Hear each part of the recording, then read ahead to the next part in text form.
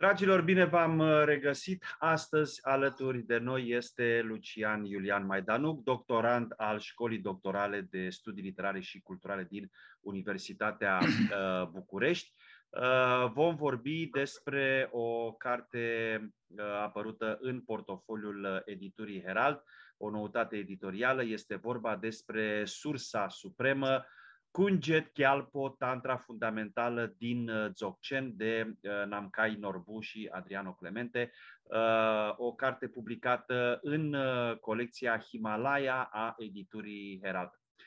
Lucian, iată o noutate editorială și mărturisesc că această întâlnire a noastră cumva și vreau să știe și cititorii și cei care ne, ne urmăresc că a fost uh, mijlocită de o apreciere pe care a dus-o și uh, sunt plin de recunoștință pentru acest lucru, o apreciere pe care a dus-o acestei uh, cărți, uh, faptul că este o carte, uh, o carte bună, o carte uh, ca noutate editorială apărută în uh, portofoliul editurii uh, Herald și uh, aș vrea să începem discuția noastră cu următoarea întrebare. La ce trebuie să se aștepte cititorul ca să găsească în această carte, care, iată, vorbește uh, pe lângă altele de tradiția Dzogchen? În primul rând, uh, bună ziua și mulțumesc pentru invitația de a uh, discuta despre această carte. Da, într-adevăr, când am văzut că la Herald apare Cânge Dialpa, am fost foarte, foarte bucuros pentru că mm, deja se poate spune că Herald are o serie foarte frumoasă de cărți uh, care îl au ca autor pe uh, profesorul Namkai Norbu, uh, care mi-a fost și maestru. Deci este vorba de un maestru tibetan, un maestru Dzogchen. Din păcate a trecut dincolo acum trei ani și jumătate. Și da, într-adevăr, după primele trei cărți pe care uh, editura le-a, le-a scos pe piață în legătură cu învățătura Dzogchen și având ca autor pe, pe Namkai Norbu Rinpoche, uh, Crânge Gyalpo a fost o surpriză extraordinar de frumoasă. M-am bucurat grozav, sincer vorbind. Bun, acum să încerc să uh, creionez în câteva cuvinte cam la ce se poate aștepta cititorul să găsească în această carte. Uh, în cele mai simple cuvinte se poate spune că este vorba despre Crânge Gyalpo du este numele în tibetană al unei tantre uh, foarte importante din învățătura Dzogchen. Uh, este numită în, uh, în sanscrită Kulaya Raja Tantra, însă e vorba de puțin mai mult de atâta, pentru că explicațiile despre această tantră sunt oferite în trei moduri diferite, sau se poate spune chiar pe trei niveluri diferite. Uh, care corespund celor trei părți pe care le are uh, cartea. În primul rând este vorba de partea a treia, cea mai importantă, care cuprinde extrase din uh, Tantra, Künje Gyalpo, care este veche, are peste o mie de ani, nu se știe exact de când atează. A doua parte a cărții este compusă din comentariile oferite de profesorul Namkai Norbu la această tantră.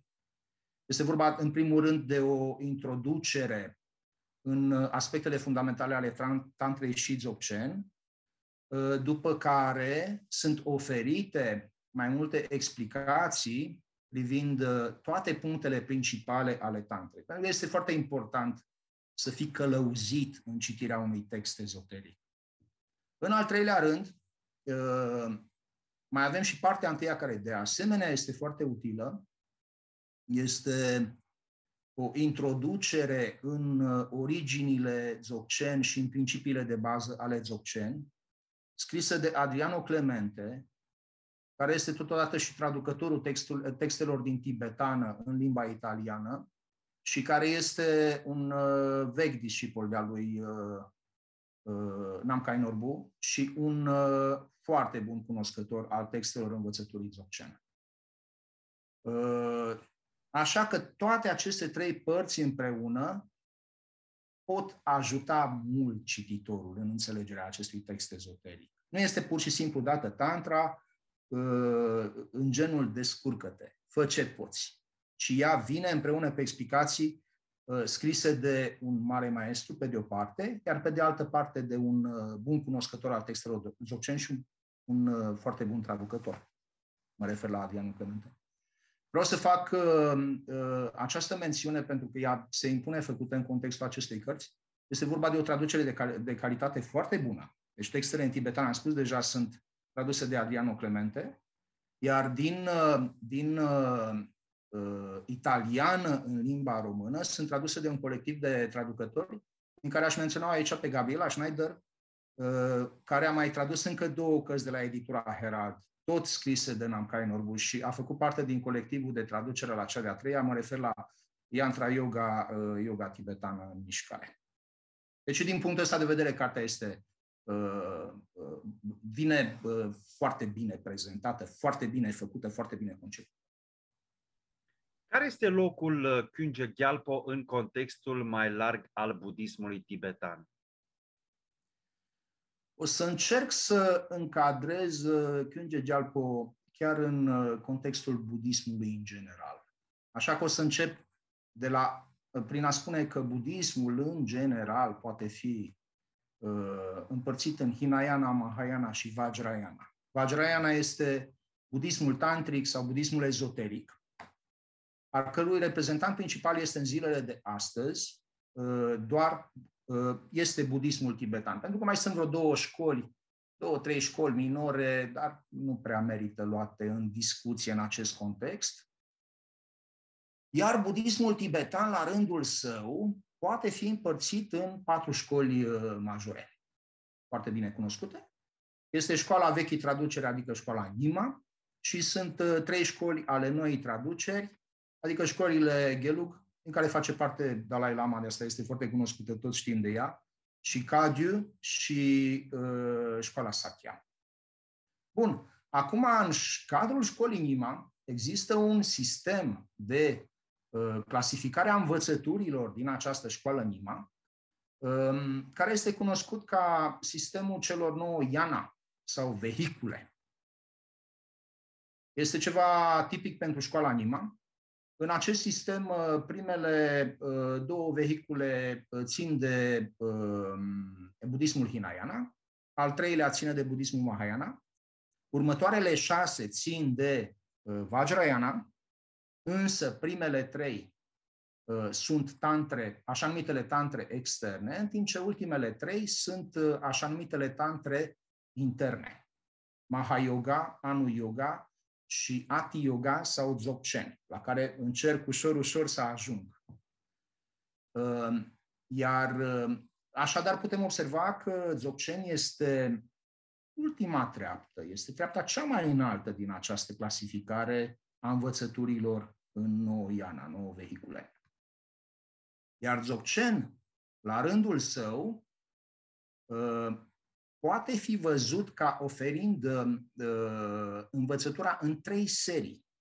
Așa se numesc, trei serii, seriile minții, numite și sende, numite sende, seriile spațiului, longde, și seriile instrucțiunilor esențiale, uh, Upadesha sau Menagde. Bun, toată această poveste foarte, foarte lungă, pe, această paranteză pe care am făcut-o, e pentru a putea pune acum degetul exact pe locul în care uh, avem uh, Unge Gealpo. Este o tantră foarte importantă în seriile minții, în sende, din Dzogchen, iar despre Dzogchen v-am zis deja, ți-am zis deja că este um, treapta cea mai înaltă din uh, învățăturile oferite în școala Nima. Răspunzând uh, deja la întrebarea ce este Dzogchen, te-aș întreba ce înseamnă de fapt Künge Gyalpo. Este o întrebare foarte bună pentru că, într-adevăr, nu merită să ne oprim la uh, ceea ce rezultă la prima citire a cărții, și anume că ar fi sursa supremă. Asta ar însemna să lăsăm uh, o mulțime de întrebări fără răspuns cu privire la ce înseamnă, de fapt, uh, uh, Künge Gyalpo, această sursă supremă. Ce înțelegem prin ea? Și atunci eu văd uh, explicația ca fiind posibilă în trei feluri. Deci putem uh, da trei semnificații la acest termen Künge Gyalpo. Prima semnificație pe care o văd posibilă ar fi aceea de Buddha primordial, pentru că uh, Künge Gyalpo de fapt este uh, Samantha Badra, care în școala Nima este Buddha primordial. Buddha primordial însemnând realitatea ultimă uh, sau substanța fundamentală a tuturor fenomenelor. Este echivalentul lui Vajradhara din școlile uh, noi traduceri sau uh, chiar echivalentul lui Kalachakra, pentru că și Kalachakra apare uneori tot ca și realitate ultimă. Al doilea sens pe care îl, puteam, îl putem da termenului de plânge Gyalpo este acela de uh, stare de conștiență sau stare de sau înțelepciune primordială sau stare primordială. Um, este în acest sens este relevant uh, o explicație dată de maestru uh, Namkai Norbu, care spune starea de conștiență a fiecăruia este adevăratul centru al Universului. Al treilea sens pe care îl putem da termenului de Kyunge Jalpo este acela de um, maestru din interior. Și aș citi un scurt fragment uh, din carte uh, în acest sens, un fragment care mi se pare foarte frumos și care este Uh, scris de Namkai Norbuda.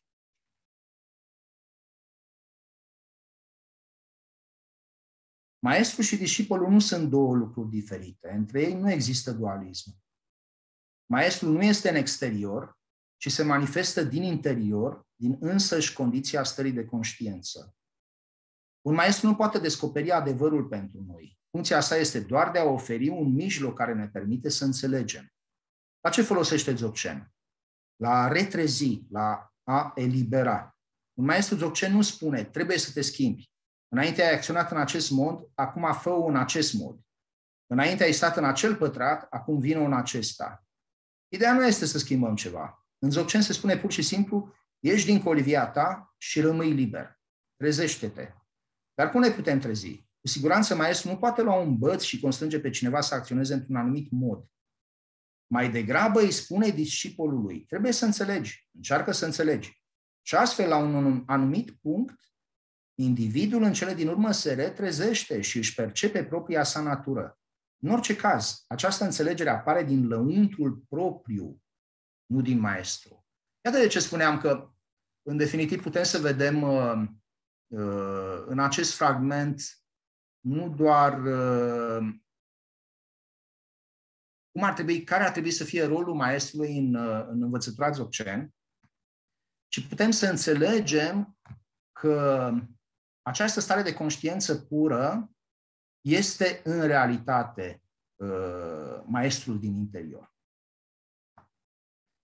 Și uh, deși este foarte, foarte mare tentația să ne gândim la Kyunge Jalpo ca la un creator, Asta și înseamnă Kyunge Gyalpo în, în limba tibetană. Înseamnă regele care creează totul.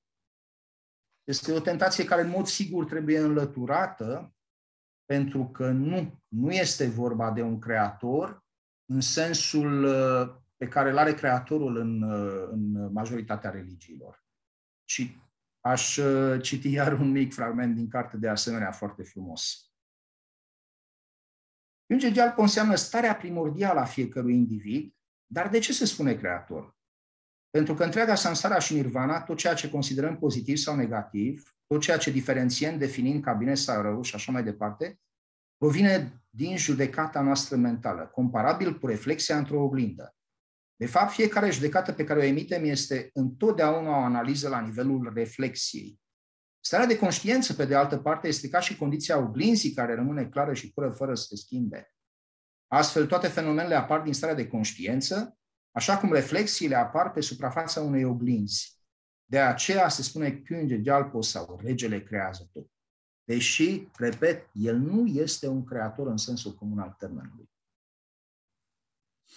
Care considere a fi diferența cea mai uh, importantă, cea mai uh, evidentă dintre calea spirituală propusă de Kyunje Jalpo și budismul tantric?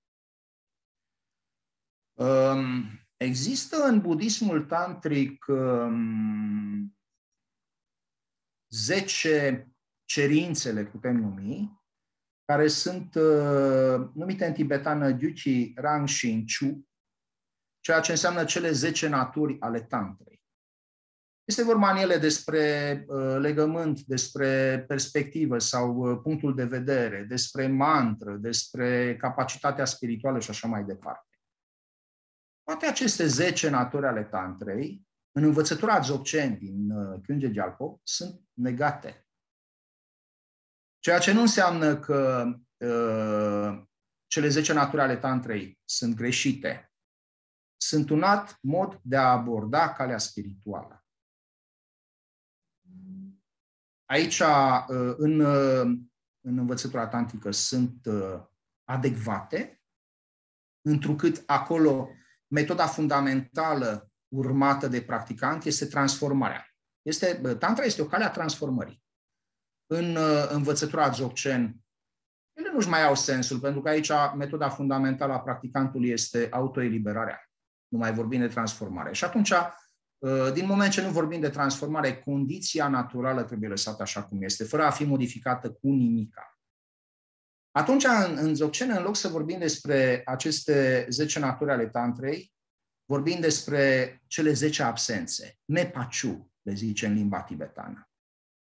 Și uh, o să vi le zic așa, o să ți le zic în mare viteză. Nu există punct de vedere asupra căruia trebuie meditat. Nu există legământ sau samaia de observat. Nu există capacitate de uh, acțiune spirituală de căutat. Nu există mandala de creat. Nu există inițiere de primit, nu există cale depășit pe ea, nu există niveluri de realizare uh, care trebuie uh, depășite, nu există conduită de adoptat sau uh, nici măcar o conduită de abandonat. Înțelepciunea din sine răsărită este lipsită de obstacole de la origine, iar perfecțiunea din sine este dincolo de speranță și teamă. Asta ar fi, în cuvinte foarte simple, uh, diferența fundamentală pe care o propune învățătura din uh, Kyunje Gyalpo față de învățăturile tantrice obișnuite. Dragii noștri, a fost astăzi alături de noi uh, Lucian Iulian Maidanuc, doctorant al Școlii Doctorale de Studii Literare și Culturale din cadrul Universității uh, București uh, și am povestit pe marginea cărții Sursa Supremă, Künge Gyalpo, Tantra Fundamentală din Dzogchen, de Namkai Norbu și Adriano Clemente, o carte publicată în colecția Himalaya din portofoliul editurii Herald. Uh, cu mesajul, cu îndemnul, atât pentru uh, cei uh, cunoscători care vor să-și completeze, să spunem, biblioteca cu această carte, pe lângă, iată, alte cărți uh, scrise uh, de Namkai Norbu, chiar uh, în portofoliul editurii uh, Herald. Uh, noi vă mulțumim foarte mult pentru că ați fost uh, alături de noi și mulțumim uh, și lui uh, Lucian uh, Maidanu pentru informațiile pe care ni le-a oferit uh, și pentru aprecierile referitoare la această carte pe care, iată, amândoi uh, vi-o recomandăm cu uh, mare, mare drag. Uh, vă mulțumim, ne dăm întâlnire la un nou episod al rubricii Cărți deschise pentru minți deschise. Până atunci să aveți o zi frumoasă în continuare și lectură plăcută. La revedere!